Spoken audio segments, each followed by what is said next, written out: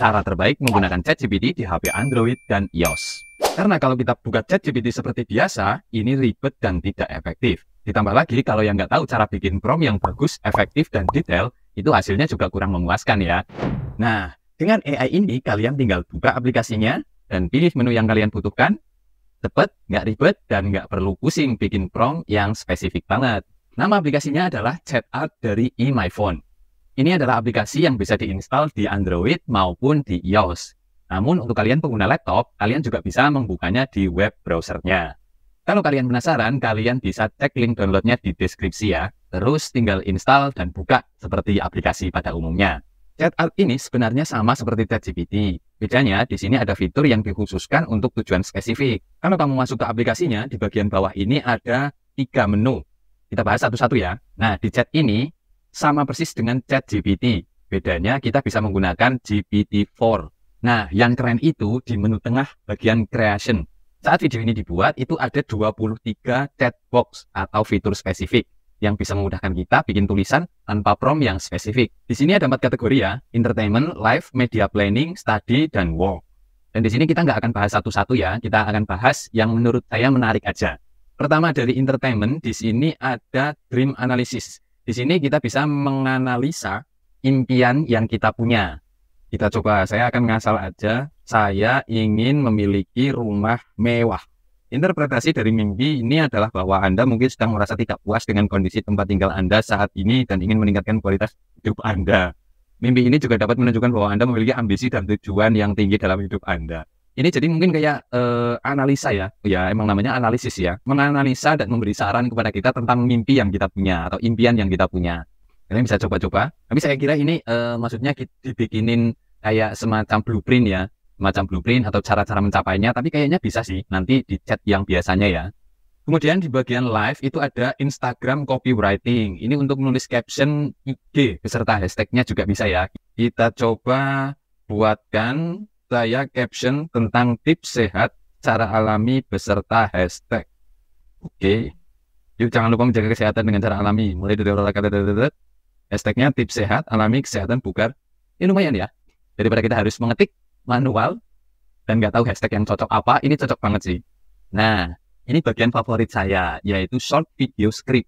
Jadi kita bisa bikin script untuk video pendek dengan simple. Kita coba ya, Nanti kalian akan tahu bedanya kalian bikin script di chat GPT dengan prompt yang sama dengan di sini. Nah, di sini saya akan mencoba menuliskan buat video pendek tentang fakta sakit gigi. Oke, kita submit. Nah, ini ya. Judul, sakit gigi, fakta yang mengejutkan. Scene 1. Oh, ini keren ya. Scene 1, adegan di ruang tamu, pria menggunakan dengan ekspresi kesakitan. Scene 2, adegan transisi, voice over, tahukah kamu? Ini nggak nggak cuman sekedar skrip yang apa namanya kayak dialognya aja ya, tapi udah dilengkapi dengan persinnya, kemudian voice overnya, terus visualnya ya. Jadi kita untuk cari footage itu enak banget. Ini udah lengkap sih. Padahal promnya simple kan tadi kan, cuma buat video pendek tentang fakta sakit gigi. Keren-keren. Kita coba contoh lain lagi. Uh, buat video tentang fakta hewan aneh. Nah ini judul hewan aneh di dunia, fakta menakjubkan.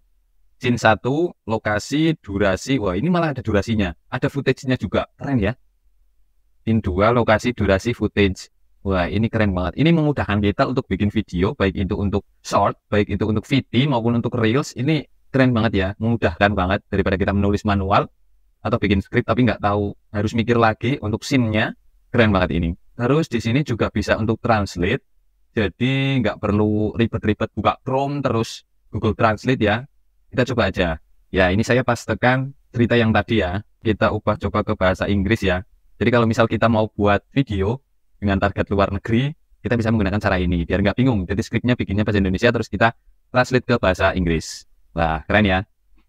Nah, terus di sini kalau kita mau mengcopy hasil chatnya ini, kita bisa copy ini atau kalau mau langsung dimasukkan ke sosial media, diposting Facebook dan lain-lain, itu kalian bisa klik yang ini, lalu bisa di-share ke mana pun yang kalian inginkan. Oke, dan kalian bisa gunakan ini secara gratis ya, tapi terbatas. Itu pas daftar pertama kalian mendapat 10 chat gratis di GPT 3,5 dan 3 chat di GPT 4. Terus nanti per hari itu dapat 3 chat di GPT 3 dan satu chat di GPT 4. Kalau kalian mau unlimited atau akses lebih, kalian bisa upgrade aplikasinya. Misalkan kalian download coba gratis nih, terus kalian suka, cocok, kalian bisa upgrade. Dan harganya juga nggak terlalu mahal sih. ChatGPT Pro itu lebih mahal. Di sini kita bisa lihat hanya 3,99 dolar per minggu. Kalau yang mingguan ya, kalau yang bulanan itu 6,99 dolar.